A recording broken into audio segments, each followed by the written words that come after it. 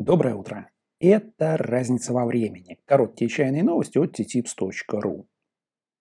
Хайнань, как известно, это такой остров, составляющий большую часть одноименной и самой южной провинции Китая. В нечаянном плане Хайнань известен своими курортами и космодромом. В чайном плане этот остров известен своими чудесными чайными локациями, ранним зеленым чаем и еще несколькими интересными чайными специалитетами – и практически неизвестен за пределами Китая, конечно, своими лао-бача.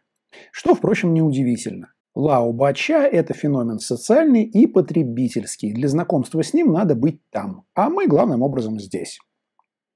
Лао-бача – это чайные, которые удивительно похожи на некоторые другие феномены потребительской чайной культуры, расположенные очень далеко от Хайнаня.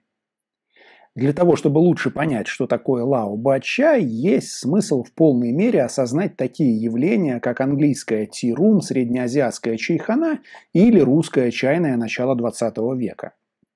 Все эти форматы, несмотря на жесткую привязку к чаю в названии и практически обязательное присутствие чая в меню, специализированными чайными почти никогда не являются и не являлись.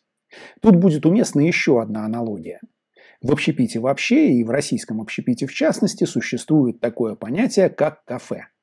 Этимологически связанное с кофе. И кофе в кафе почти всегда присутствует. Но при этом на кофе в кафе свет клином не сошелся. Чаще всего в кафе можно полноценно поесть. Не так дешево, как в столовой, но и не так дорого, как в ресторане. При этом кафе бывают очень разными. Есть, например, кафе «Березка» в Пскове, бывшее во времена моей относительной молодости традиционным местом встречи контрактников с дальнобойщиками.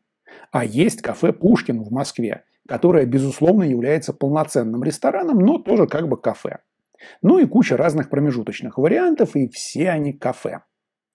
Так вот, по своему формату и функциональности и английская тирум, и среднеазиатская чайхана, и классическая русская чайная начала 20 века ближе всего к кафе.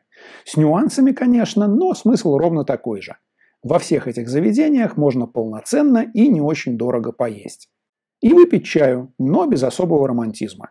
Если вы приедете в Алма-Ату или Ташкент в надежде посетить чайхану под саклями с чайханщиком, который готов вести долгие и мудрые беседы с каждым гостем, то вас ждет жесточайший облом. Я как-нибудь про этот облом напишу отдельно. А пока давайте вернемся в Китай, на остров Хайнань. Лао Бача – это традиционная хайнаньская чайная, полностью аналогичная по функциональности среднестатистической среднеазиатской чайхане.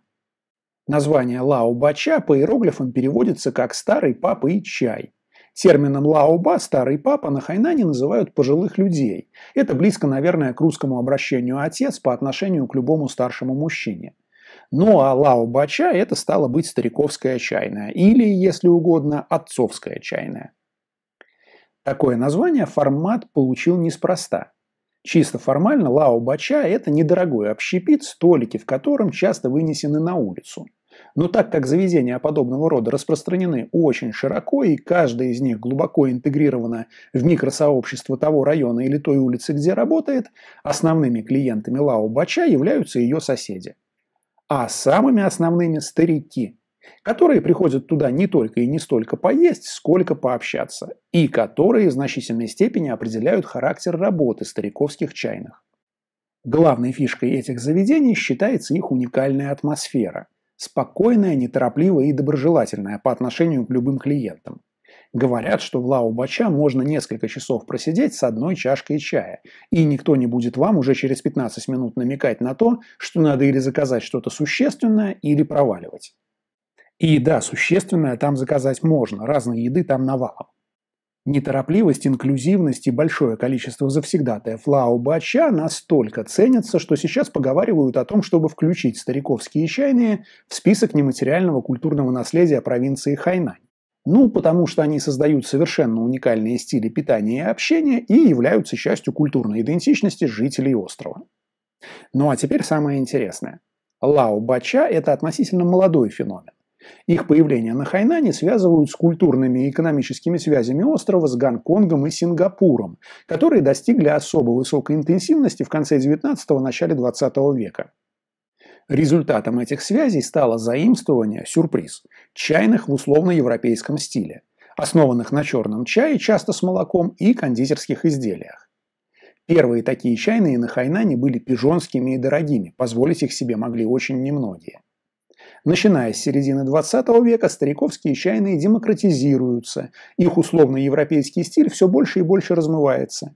И к концу 20 века они полностью меняют свой формат и трансформируются в недорогие заведения с полным набором традиционных китайских блюд, с китайским чаем, причем часто местным, и в китайском же стиле. Когда появилось название Лао Бача, мне выяснить не удалось. Но вообще, конечно, это совершенно замечательный пример чайного формата, который стилистически развивался от запада к востоку, а не наоборот, причем на востоке. Это была разница во времени, оперативные чайные новости от tttips.ru. Удачи!